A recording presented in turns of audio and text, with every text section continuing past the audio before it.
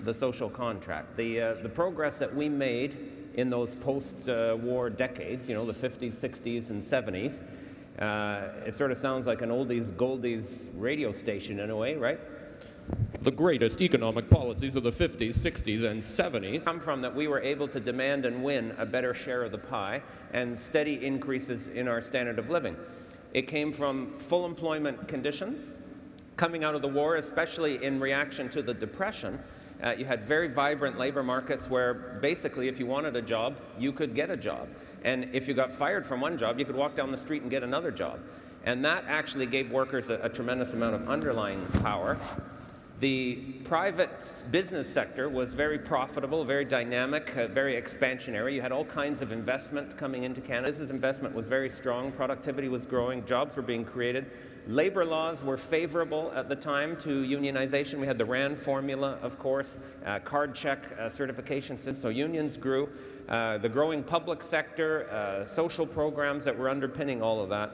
Um, you also had, I think, some very big political issues. For example, in the post-war era, the legitimacy of capitalism, in essence, was still in doubt, especially in Europe and other parts of the world. Employers and, and sort of the political establishment were worried about that alternative. So all of those things came together. Workers had very high expectations and they had uh, the ability to put some of those expectations into practice. Uh, one measure, this is the share of GDP that's captured by workers in terms of wages and salaries. There's other ways you could show the, the rise and fall of it. In the golden age, uh, the share was rising through the 50s, 60s, and 70s again and reached a peak. And then uh, afterwards, of course, the, what we'll talk about later, uh, under what we now call neoliberalism, the share was declining.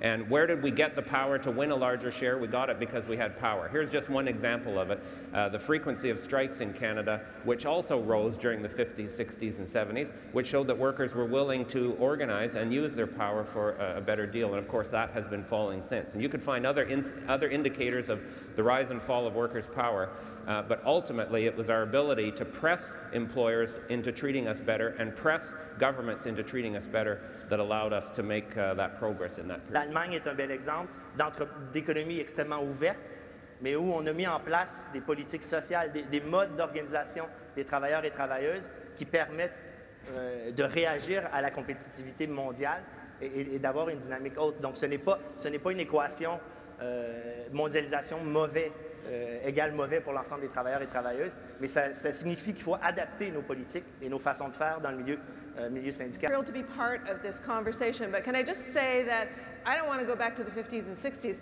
I want to go back 100 years because we got a 100-year itch that we are all starting to scratch all over this world.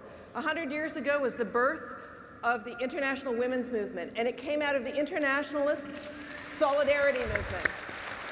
We were scratching an itch for greater equality, men and women, workers all over the world. Why? Because there was growing globalization then. There was the growing power of the elite, of corporations, of rich people. It was an era of robber barons, great exploitation, and, brothers and sisters, great opportunity. People were moving from city from country to city, looking for job opportunities, all sorts of things was happening. We are at the same place now in the expanding global supply chain. Conditions and better supports. This is happening on the other side of the world. Here we're starting to lose ground and wondering how we're going to hang on to what we've got. But if you start thinking about what it was that led to the birth of the world that we live in, it wasn't so much only that there were angry people that wanted more. In fact, Canadians and people all around the world wanted more from their employers in the teens, in the 20s, in the 30s. They didn't get it till after the war. And they didn't get it till after the war in North America because employers suddenly, you know, employers resisted giving more back then. Why did we get it in the post-war period? Well, we got it in the post-war period because there was no competition for North, North American employers. Really, North American employers, Canada and US was the only game in town in terms of globalization.